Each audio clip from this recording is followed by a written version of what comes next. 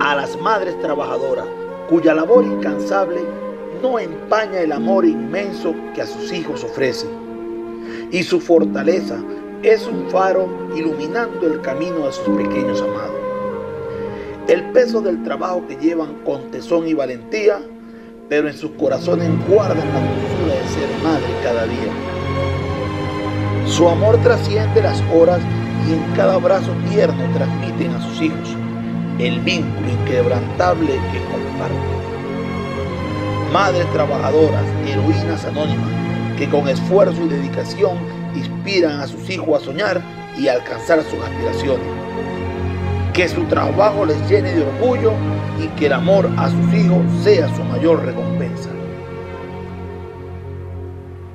Y a todas las madres en el mundo, en su día les deseo un feliz día de las madres, pero especialmente a las madres venezolanas, a esa guerrera, luchadora, mi respeto y admiración. Feliz día y muchas bendiciones.